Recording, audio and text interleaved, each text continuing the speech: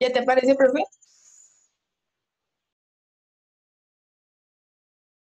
Sí, mi amor, ya.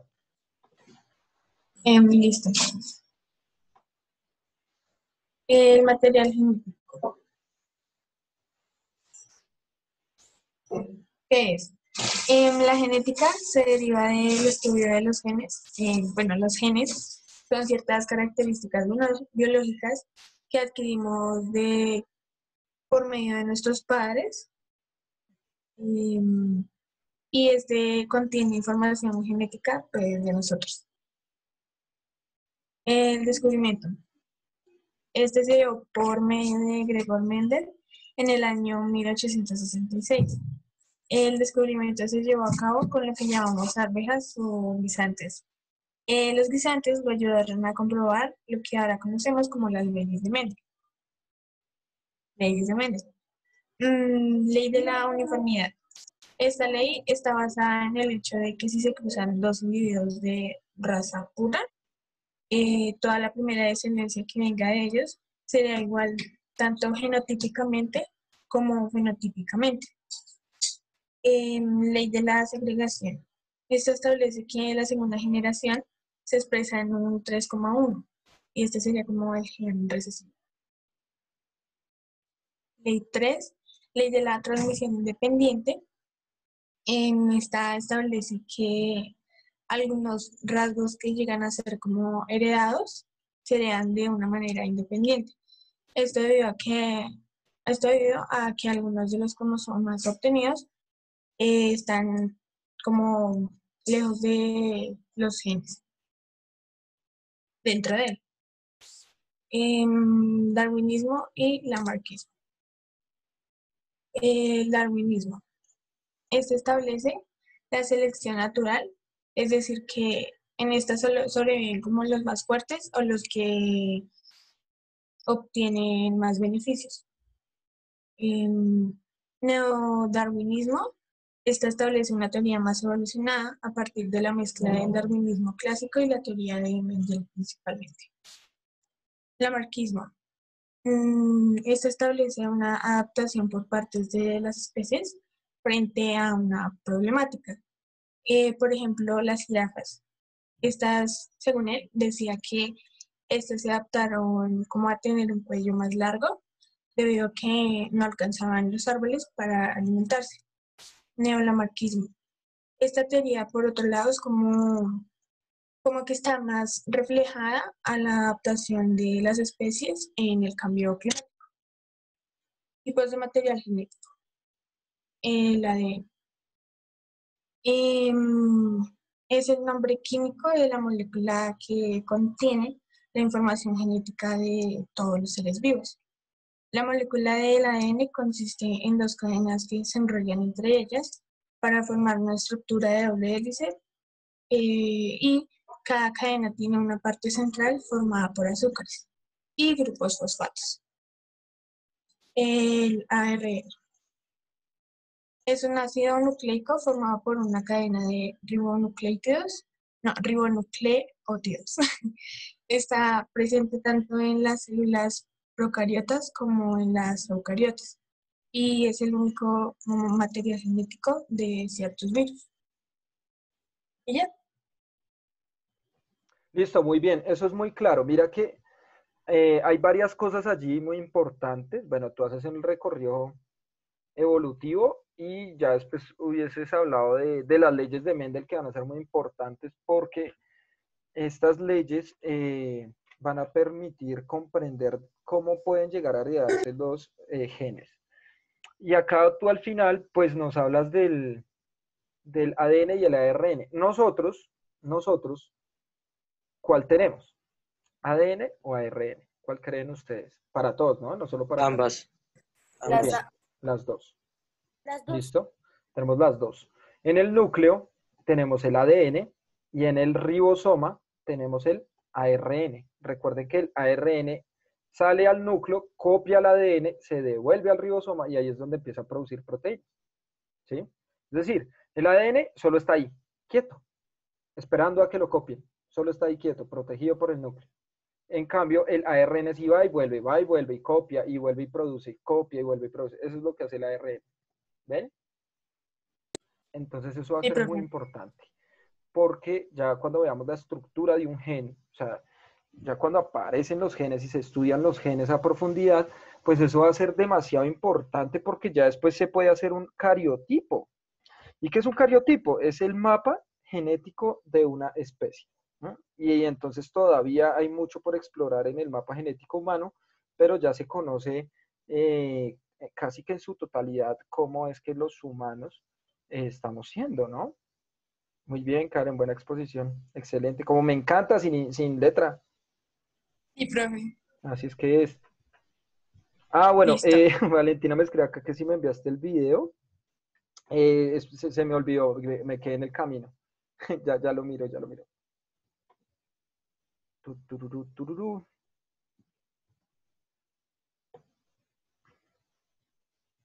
¿Dejo de compartir, profe, o la dejo? mi vida. Ya, ya, ya.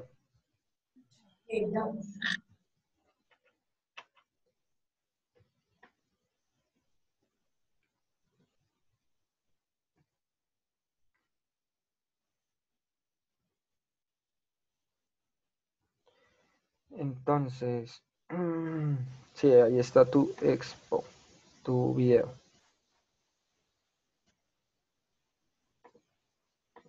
Listo, vamos a verlo y ya.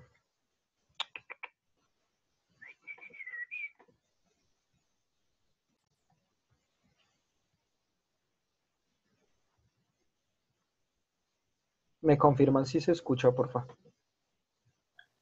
Hola, mi nombre es Valentina Díaz Posada. Sí, sí, sí. Listo, bien. Entonces vamos a verlo y ya volvemos. Les voy a hablar sobre la genética y su historia. La genética es una de las ramas de la biología encargada de estudiar las características que se transmiten de generación en generación. Y estas características se les llaman genes. Dichas características pueden ser estatura, color de ojos, tipo de cabello, tipo de sangre, enfermedades, etc. Y estos genes eh, están formados por pequeños fragmentos de ADN y ARN. Eh, la genética es una de las ramas fundamentales, fundamentales de la biología moderna y tiene varias ramas de estudio como lo son la genética molecular, que se encarga de estudiar la composición, función y reaplicación del ADN. La genética clásica o, o menderiana, que se encarga de estudiar cómo es que se heredan estas características. La genética cuantitativa, que estudia cómo fluyen los genes en las características de los seres vivos eh, que podemos observar a simple vista. Eh, la genética evolutiva y de poblaciones, eh, es, que es la que estudia el comportamiento de los genes en las poblaciones y cómo influyen en, en la evolución de las especies. Y la ingeniería genética, que utiliza la tecnología para la manipulación de, genes de una especie a otra para añadir las características que antes no tenían.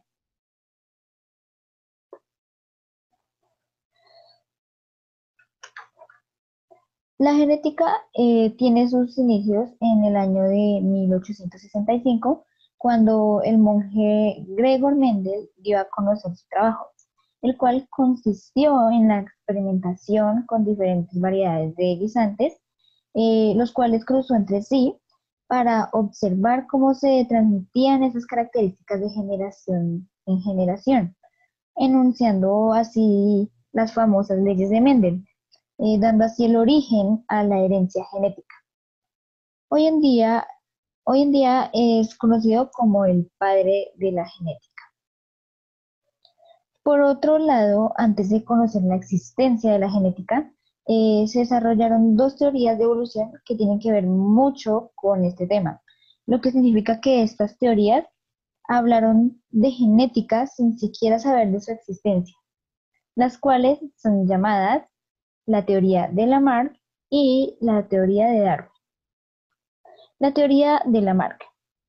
Eh, el creador de esta teoría fue Jean-Baptiste Pierre-Antoine de Monet Chevalier de Lamarck, más conocido como Lamarck. Eh, él fue un naturista francés nacido en el año de 1744 y también fue uno de los primeros biólogos en creer en la existencia de la evolución. Eh, a esta teoría se le conoce como lamarckismo o también se le conoce como transformismo. Eh, Lamarck propuso una teoría para explicar los cambios evolutivos eh, en los organismos mm, basándose en tres cosas.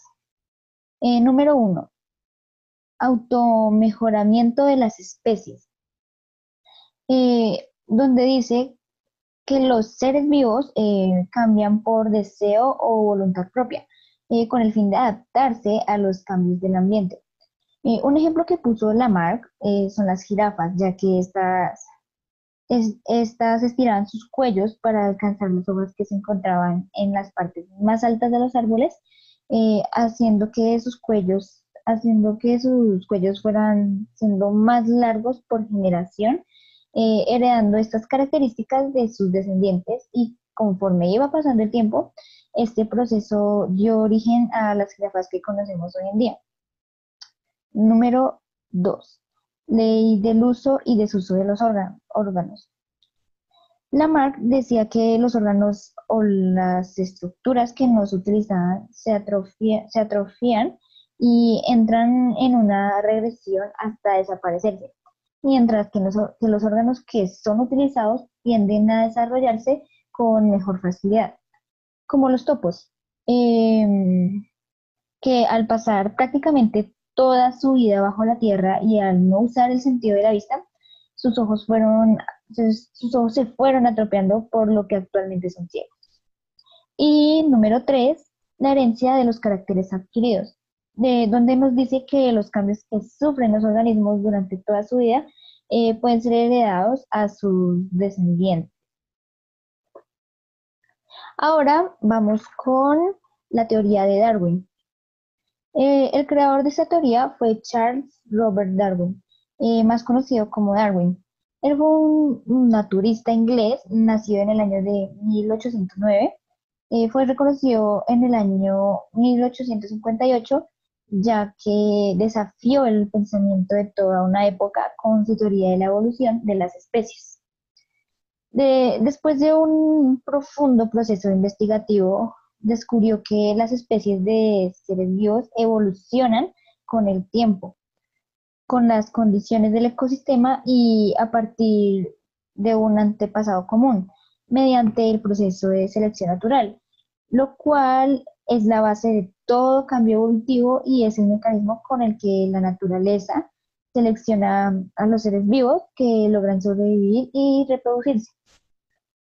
Cuando la selección natural favorece las características de una especie en el tiempo y las generaciones, eh, puede dar lugar a la formación de una nueva especie o especies con características mejoradas.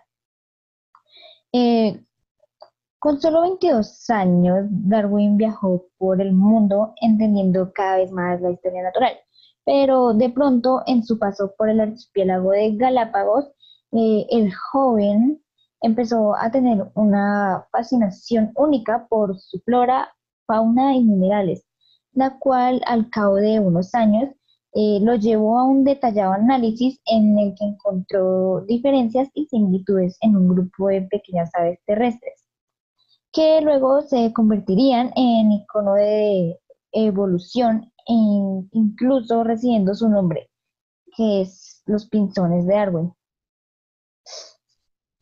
Eh, sus estudios eh, llegaron a determinar cómo las diferentes especies de pinzones eh, habían ido transformándose en respuesta a los cambios ambientales y alimenticios a través de la selección natural.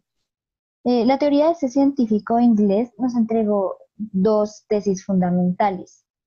La primera, las especies derivaron de un ancestro común, pero con el transcurso del tiempo las generaciones fueron acumulando diferencias. Y segunda tesis, A través de la selección natural, solo los individuos mejor adaptados logran sobrevivir y reproducirse dejando descendientes con características similares. Y esta es toda mi presentación. Muchas gracias. Excelente, me gustó. Como me gustan también, como Karen, sin imágenes, hablando, explicando muy bien. ¿Listo? Eh, bueno, la verdad creo que fue muy clara. Mm, y se nota que comprendiste. Profe, una pregunta. Tell me. Dime, dime. Profe, eh, que quería saber si de pronto hay la posibilidad de que nazca gente que nunca en la vida le crezcan dientes. Siempre recuerda esto, siempre, desde que seamos seres vivos, siempre va a haber una probabilidad de lo que sea. ¿Listo? Solo que eso no lo controlamos. Entonces, hay enfermedades que impiden eh, que se fortalezcan los dientes y que no crezcan. Entonces, pero no solo eso. O sea, ¿qué pasa si hay una enfermedad que impida que crezcan los dientes? ¿Qué creen ustedes? ¿Es una enfermedad que afecte qué? ¿Qué creen? El calcio. Exacto. ¿Quién dijo eso, Auris? Sí. Muy bien, Auris. Bien. También afectaría los huesos de todo el cuerpo. Exactamente. ¿Listo? Y esta enfermedad ya creo que existe. Profe, Trump tiene corona. Sí, Fernanda. ¿El síndrome de Down también puede? ¿O ¿Cuál, mi amor? ¿Cómo? El síndrome de Down. Es que yo cuando he visto personas con síndrome de Down, pienso que sus dientes son como de un bebé, o sea, como que... Mm. Bueno, el síndrome de Down es un, un caso muy especial porque es el, eh, una trisomía, eso se llama una trisomía en el par 21, es decir, nosotros tenemos 23 pares de cromosomas. En el par 21 eh, se encuentran tres cromosomas, o sea, no es una parejita, sino hay un trío, imagínense eso. Entonces, como se reúnen tres en vez de dos, eso genera el síndrome de Down. y eh, da unas características como si hay como, como, como que el cuerpo se torna un poco infantilizado, un poco de niño, ¿no? Y no lo digo pues en el mal sentido, ¿no? Sino es como lo que pasa genéticamente, ¿sí? Es por Eh, eso que como que los que sufren de síndrome de Down se, no se especializan, sino como que tienen otro intelecto, in- pues intelectual. Mi amor, mira que yo tengo allí como una especie de teoría, pero toca ver. Lo que pasa es que yo, yo creo mucho en el psicoanálisis, en Freud y sobre todo un amigo que se llama Gerard Pomier. Mm, y Freud nos habla de un complejo que se llama el complejo de intuición. ¿Qué es el complejo de intuición? Cuando yo socializo con ustedes, o bueno, con ustedes no, sino cuando yo era bebé, yo socializo con los otros y en esa socialización con el otro yo me pongo en el lugar del otro y ahí yo puedo desarrollar también mi personalidad. ¿Qué es lo que pasa con una persona que tiene autismo o síndrome de Down? ¿Cierto? Eh, no se le da lugar porque como saben que viene enfermo eh, genéticamente, lo separan. Entonces yo creo más bien que las personas con síndrome de Down pueden ser o tener un desarrollo convencional como cualquiera de nosotros. Lo que pasa es que cuando son chiquitos en esas primeras etapas, no saben qué hacer los familiares y lo rechazan, lo separan un poco y lo tratan totalmente diferente a un niño eh, que no tenga ningún problema genético. Pero, Yo profe, creo que eso profe, si desemboca se- en un autismo. Dime. ¿y si se desarrolla el síndrome de... Ah, no, no, no, no, no, no, olvídalo. Profe, yo tengo una Eh, pregunta. eh, espérame un momento, porque me habían escrito algo acá. Bueno, acá Nemo quiere mostrar un, collar de, de Dead Note. Eh, me dice, profe, ¿por qué se da la enfermedad que la telita de la lengua está más adelante y no permite sacarla mucho, impidiendo poder hablar bien?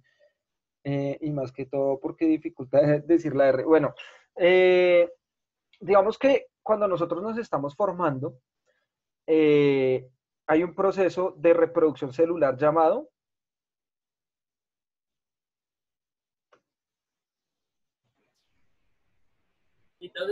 Muy bien, Auris. No, Auris, eres la mejor. Salvas la patria por siempre.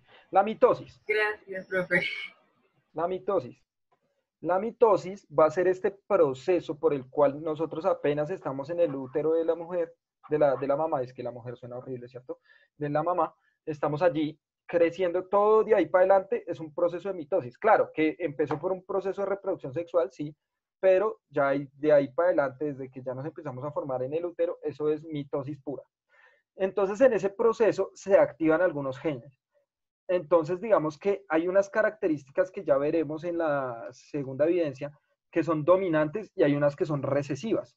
Eh, características como, por ejemplo, eh, tener una forma redondeada o puntiaguda en las orejas, eh, tener como en la frente, en la parte del pelo, donde empieza el pelo, una forma como de Mickey Mouse o recta, eh, mm, algunos rasgos en la nariz, todo eso, incluso ese que estás comentando de la lengua, son rasgos genéticos heredados. Entonces, digamos que no es una enfermedad como tal, porque una enfermedad es denominada un fallo o un ataque que se dé al cuerpo en el cual, digamos, peligre la existencia del mismo o de la persona, ¿sí me entiendes? Es un poco más complejo, ¿sí? Entonces, en ese sentido, eh, nosotros podemos decir que no es una enfermedad, sino más bien una, una, eh, un desarrollo genético que tuvo la persona cuando empezó a reproducirse. ¿Listo? Mariam. Eh, Paloma, su pregunta rápido. Así. Y después va Aleja. Ah, profe, ¿Y ¿Es Aleja o, o- o es Valentina? ¿Quién es Sí, soy yo, soy yo. Yo, ah, pues yo levanté la mano también. Ah, bueno, entonces dale tú y después yo. No, dale, ya, ya. Ay, Ya. dejen. Paloma, hágale. vale. Eh, profe, eh, las personas que ven otros colores, colores aparte de nosotros, ¿nacen así o se les desarrolla más adelante? Eh, ¿Te refieres a los daltónicos? Sí, señor. Uy, el daltonismo es un problema genético. Yo no sé en qué momento, la verdad, no, no sabría decirte si se desarrolla o si la persona ya nace con eso. Según lo que yo comprendo de la genética, yo te diría que se va desarrollando a medida que va avanzando el tiempo, porque un bebé, por ejemplo, pues no tiene desarrollados sus ojos y esa medida del tiempo que se van formando para poder ver bien los colores. Por eso ustedes no le pueden poner luz directa a un bebé, ¿no? Porque sus Pues, ojitos no están formados. Profe, que yo tengo como pues una respuesta para eso porque una compañera, Paez, la, ¿cómo Sí, ella sí, se sí. re- María Alejandra.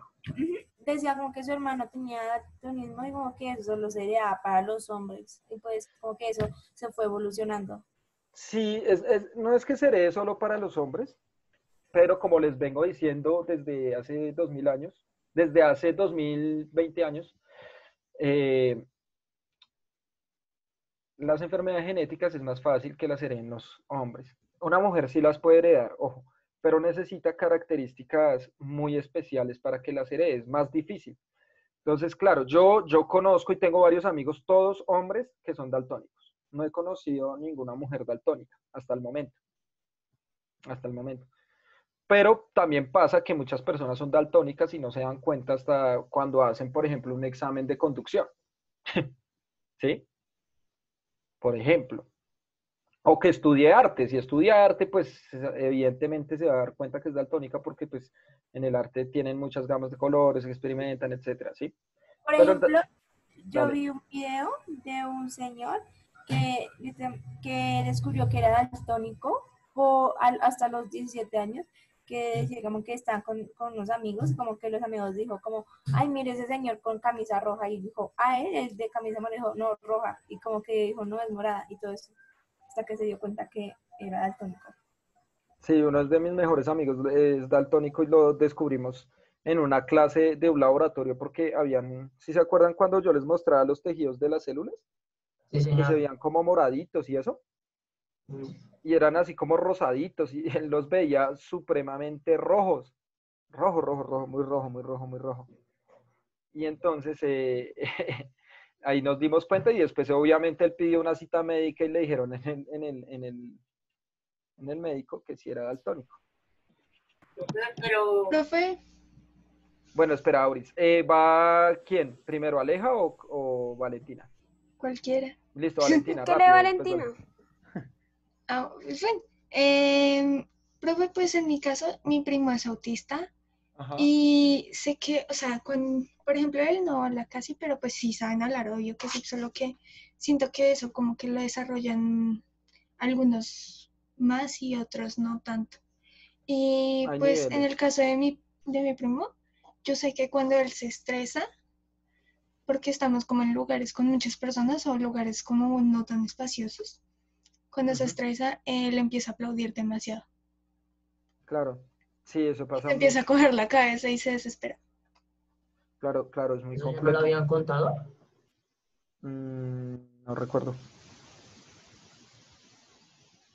Profe, también hay una frase que a veces las personas con autismo dicen que es nació lunes, el martes, como que algo así, que como que a veces los calma esa frase.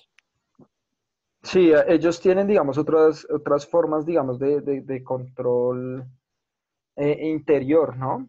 Es, es un poco más complejo. Eh, Aleja, Eh, profe, mi pregunta era si un tío le da cáncer. ¿los sobrinos les puede dar? Incluso tú, mi amor. Pero, por eso. Pero si digamos es un tío abuelo, Ah, ya, ya, es que lo entendí mal. Porque tú dices, un tío le da. Eh, ah, bueno, no, mentira, sí, lo dijiste bien, lo dijiste bien, perdón. Lo, lo está interpretando mal yo. Sí, claro, claro, mi amor, claro, claro que sí. O sea, incluso puede ser un, un tío lejano, así, pues, eh, mejor dicho, mm, genéticamente tú dices, no, ya no tenemos relación de nada, pues imagínate que sí. O sea, hay una, hay una relación genética y entonces, ¿qué nos está queriendo decir? O sea, que a él le dé cáncer y tú ya naciste, no quiere decir que, que porque a él le dio cáncer, pues a ti te va a dar. No.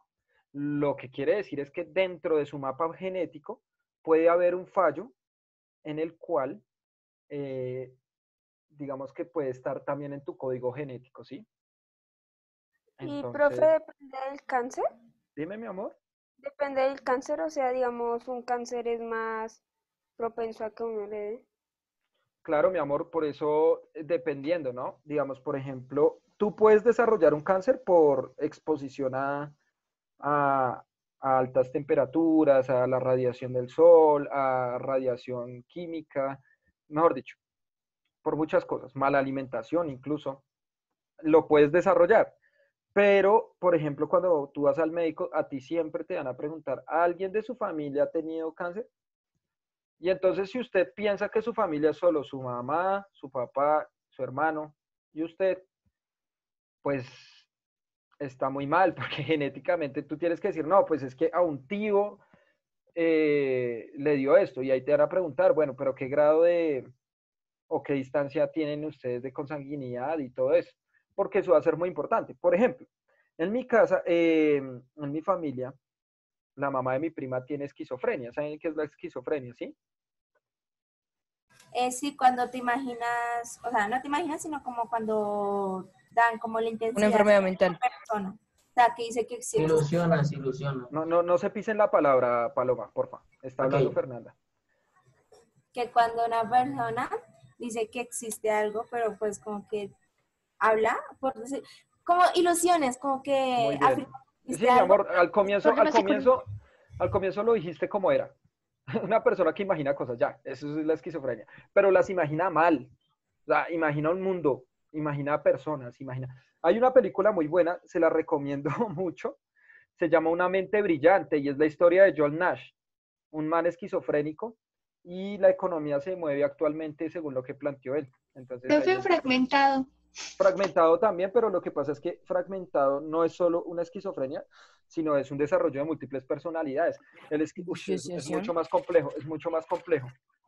En cambio, la esquizofrenia es una enfermedad genética eh, donde eh, se salta una generación de, de por medio. Es decir, eh, está mi tía, ¿cierto? Que tiene esquizofrenia y ella tuvo dos hijos, ¿cierto? Mis dos primos, un niño y una niña. Esa generación, aparentemente, porque pues puede pasar en un futuro que se desarrolle, no tienen esquizofrenia. Pero cuando ellos tengan hijos, muy probablemente sus hijos puedan desarrollar esquizofrenia. ¿Sí? Sin embargo, ella es mi tía. ¿Eso qué quiere decir? Pues que mi mamá probablemente también tenga un gen recesivo y yo puedo ser recesivo para esquizofrenia.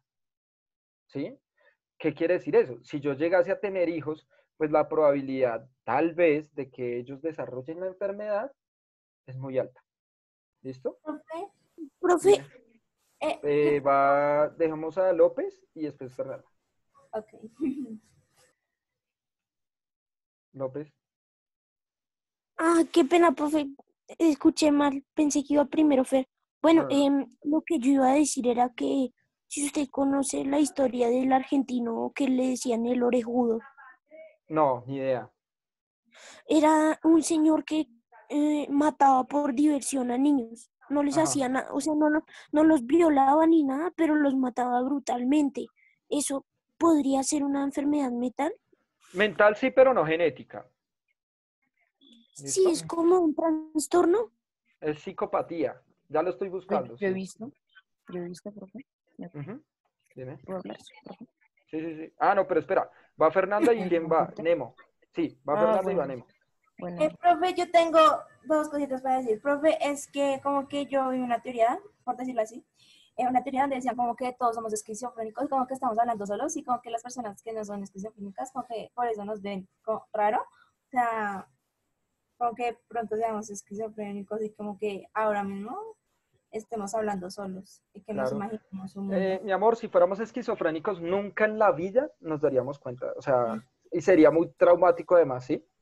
Sí. Eh, bueno, acá Marian nos recomienda una película que se llama eh, El Contador, de un muchacho que tiene eh, autismo y está en Netflix. Ahí profe, yo lo conozco a él. es que yo tengo Él mató desde los siete, él mató, él empezó a matar desde los siete años. Profe, y Listo, hay un eh, libro- Nemo, Nemo habla. Nemo, Nemo, Nemo. Profe, yo tenía Esto, otra cosa que decir. Nemo, Nemo. Ah, bueno, Fernando iba a terminar la idea. Eh, y otra cosa, profe, es que mira que yo tengo una duda, que yo no sé cuál es la diferencia entre un tumor y, un, y el cáncer. Lo mismo. El tumor es un, puede ser, el tumor puede ser un cáncer benigno, porque se acumulan las células en un solo punto, entonces con cirugía se puede extraer. Pero es un tipo de cáncer, o sea, un tumor es un tipo de cáncer. Ah, Pero eh, hay otros tipos de cáncer que no forman tumores, sino que de una hacen eh, metástasis, que es metástasis, que el cáncer viaja a otra parte del cuerpo. Por ejemplo, Ah. la leucemia. La leucemia no forma tumores, pero es un cáncer que todo el tiempo está haciendo metástasis, porque la leucemia es un cáncer que se distribuye en la sangre y entonces llega a todas partes del cuerpo. Profe, Listo, espera. Eh, eh, iba Nemo, iba Valentina, si era así la cosa, sí. Y después de que Valentina hable, expone Juan Diego. Tenemos que hacer otra sesión. Sí, sí, sí, sí. Pero entonces, Nemo, ¿va a hablar o no, mijo? así, profe. Ush, está cortado, Nemo. Internet. Uy, qué internet tan malo el que tengo. Ya, ya, ya, ya, ya. Rápido, Nemo, tiempo, tiempo. Profe, profe, profe. Yo vi en un artículo que los, psico- eh, los psicópatas, eh, más, más que todo es porque cuando matan personas y violan, es porque muchas veces los violaban a ellos cuando niños y, lo- y les maltrataban y todo. Y Sí. también porque los trataban. Y Sí, eso ya es psicológico. Eso ya, digamos que es otro tema. Lo podría hablar un poco. Dale, dale. Y entonces ellos quieren ser como dioses porque ellos se sienten muy vulnerables y quieren empezar a matar porque se sienten bien, se sienten, se sienten superiores a los Sí. demás.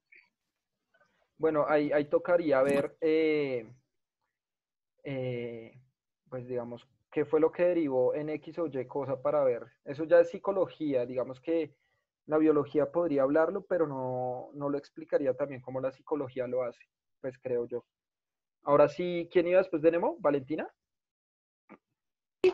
sí, Dale. eh, profe, pues eh, también en la película Fragmentado está el síndrome de Estocolmo, ¿no? Por la muchacha. Sí, sí, pasa ahí como una referencia al síndrome de Estocolmo. No pasa totalmente, porque pues no, no se involucran, pero sí, para los que no sepan qué es el síndrome de To- Estocolmo es cuando alguien secuestrado se enamora de su captor. Eso es lo que pasa. Eh, Juan Diego, expon de una vez que no alcanzamos. Puedes compartir tu presentación. El trastorno bipolar afectivo también es, eh, me pregunta Carrillo, es una afección, eh, puede darse genéticamente, pero también se puede desarrollar por, Pues- por mm, depresión, ¿no? Maníaco depresivo. Ay, perdón, Juan Di. Ahora sí ya puedes, ahora sí ya puedes. Pues, profe, es que quería decirle que no. Es que yo sé que de pronto perdemos mucho tiempo si usted comparte pantalla, entonces, pues, ay, no sabría cómo hacer porque estoy desde el teléfono, profe. No, pues ya la estoy buscando acá, todo bien. Ah, ok, profe, gracias. Ya está abriendo, ya está abriendo. ¿Alguien más va a exponer después de López, de los que tienen levantada la mano? Profe, yo soy el que más pregunta en la clase, ¿cierto? Nemo, ¿vas a exponer? Eh, esto, profe, no sé, no sé si alcanza el tiempo, de verdad. No, pues hacemos otra sesión, no hay lío. Bueno, bueno, profe, bueno. Yo expongo rápido para que alcance el tiempo. No, no, quedan tres minutos, toca volver a hacer otra. Bueno, profe, ¿será que en tres minutos ya alcanzo? Eh, ¿Has escuchado la Bye. canción de Quisiera volver a amarte, volver a quererte, voy a tenerte cerca de mi girl? Te toca así. No. Eh, mm, voy a darle editar diseño, Juan Diego, me sale es que editar. ¿Cómo así, profe? No, no, o sea, no, no entiendo. Eh, o sea, no, no, no me sale como la presentación final, sino me sale como, como, como si yo la fuera a modificar. Entonces, espera. Sí, Camila me dice acá, eh, mis ojos lloran por ti, así se llama la canción. ¿Temazazo, sí o no, Camila? Temón.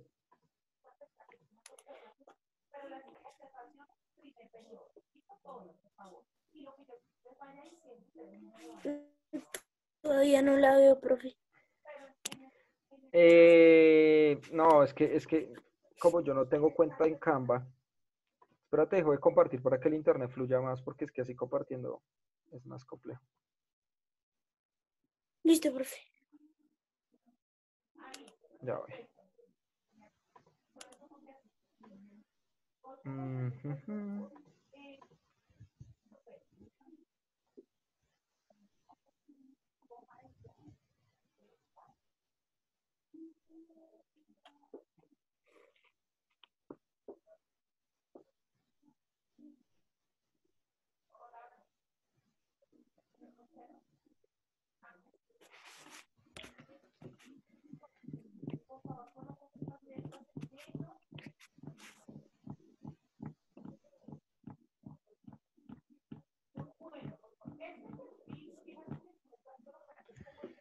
Bueno, creo que ya cargó López. Voy a, voy a compartir pantalla. Dale, profe.